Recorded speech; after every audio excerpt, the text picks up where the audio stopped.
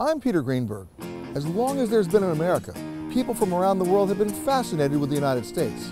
But that doesn't mean they've been coming here. In fact, for 10 years, America experienced a lost decade as millions of foreign travelers looked at this country as unwelcoming, inhospitable, even closed. But now, all of that is changing. Thanks to the international marketing efforts of Brand USA, the doors to America have swung open, and in a big way. We're introducing the world to America through a brand new television show. I'm Andie MacDowell, and I'm going to show you the South Carolina that I know and love.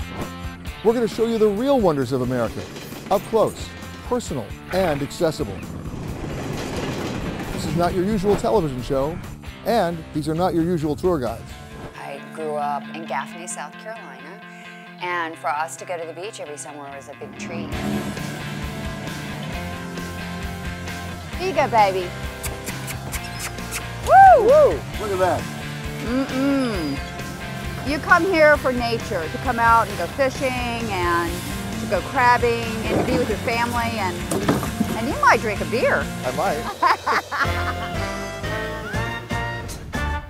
Charleston is absolutely divine. It's so historical and the architecture is really pretty. It's refined. We are at Rainbow Row. It's the most photographed block in Charleston. All the different colors. Yeah, and I've heard that it was from drunken sailors so that they, when, when they came back, they could find which boarding house they were staying in. Talk about color coded.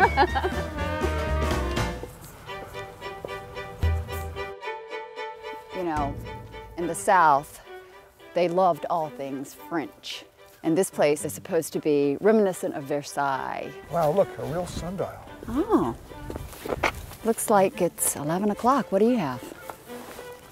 Huh, it works. Who knew? One of the elements of design here is the element of surprise. Wow. It's a secret garden. In each corner, there's a statue that represents the seasons. And this, is, This is summer. summer. Yes, this is summer.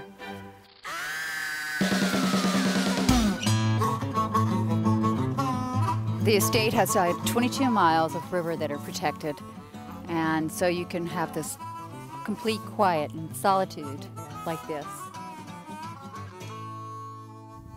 And you promised me there are no alligators here. There are alligators here. Why are you laughing?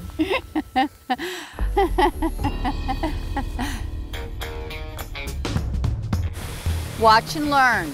Watch and learn. Very simple. Hole in one.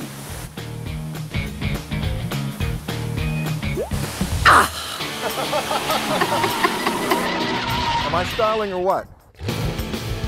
Don't go over 15 miles per hour now.